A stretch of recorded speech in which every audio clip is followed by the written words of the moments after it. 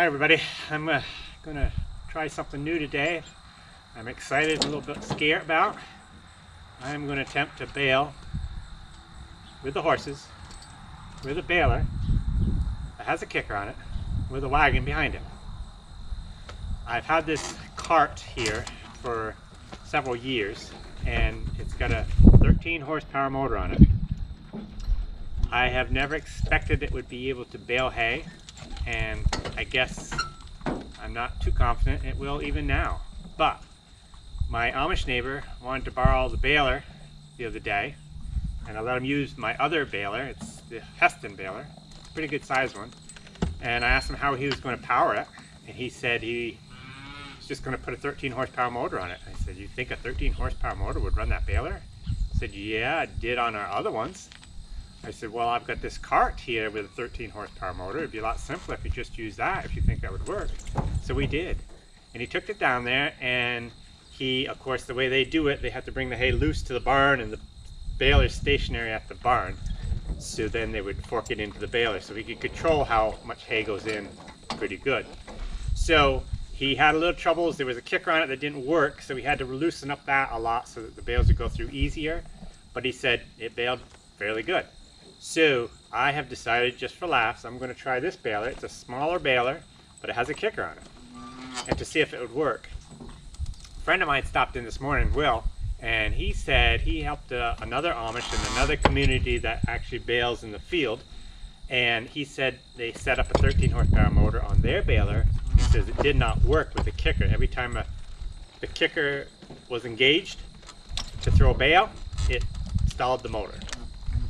So he came and looked at mine and he said, uh, well, that's a lot different. That has a gear reduction on it. And yes, it does.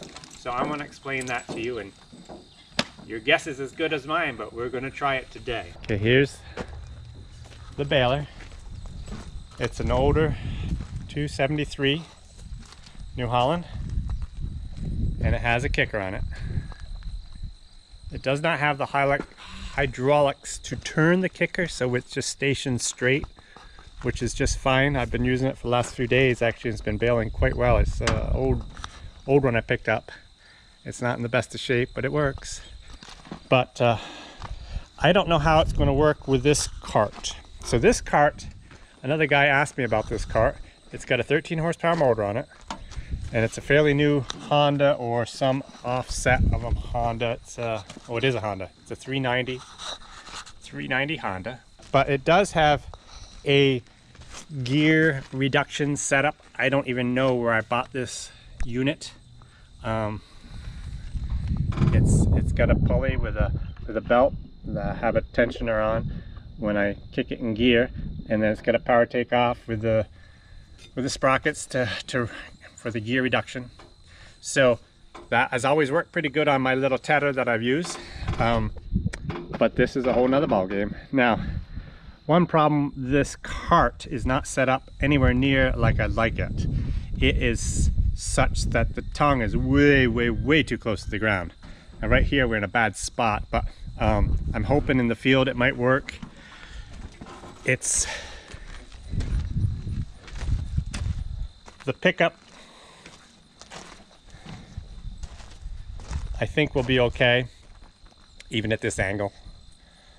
But anyways, this is what we have. Now, Ken has been used on this quite a bit with the tedder, and but he's still a horse that will will freak out a little bit for some different things. So I'm going to just start it up, and then I'm going to kick it into gear and see what happens.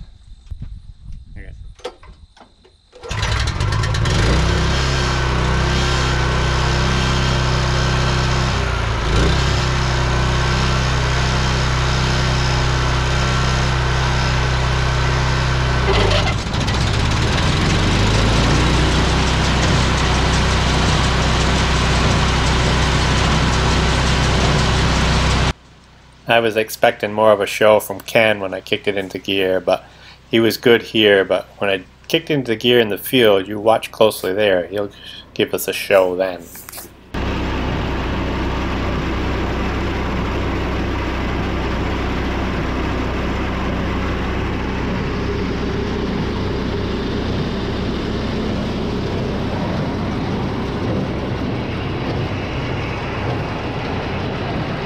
So I have, careful, I have Ken and Lady. I chose these two for baling because they are my slowest horses. And I, years ago, I baled with a baler that had a motor on it. John Deere 14T, you know, one of them old John Deere balers that works so good. And it was fine, it worked fine. I even put a wagon behind and had somebody loading it. I didn't have a kicker on it.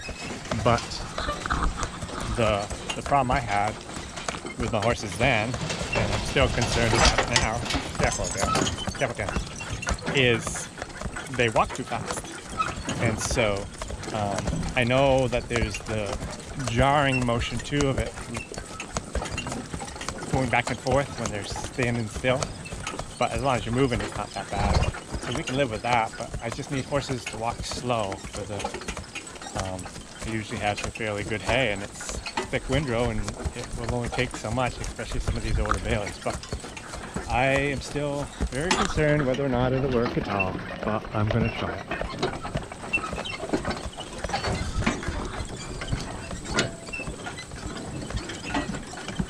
And of course my tongue setup is way, way, way too low. But for just to try it, I think it'll be okay. Now, my field is nice and flat, so it's not like it's hard to pull. So that's why I'm just using two horses. If I was to do it all day long and on any hills, of course, two horses would not work too well. But I'm as much curious about this motor and my gear reduction as anything to see if it's going to kick a bale out the baler. So we'll find out very soon. So we're gonna start it up and see if they go crazy.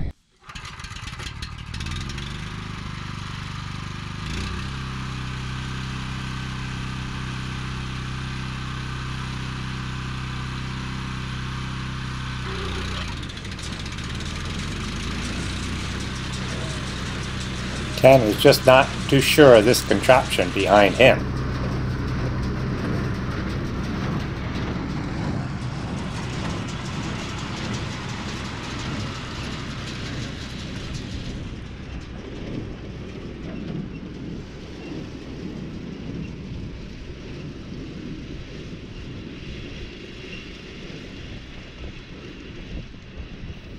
But it didn't take too long and he settled right down.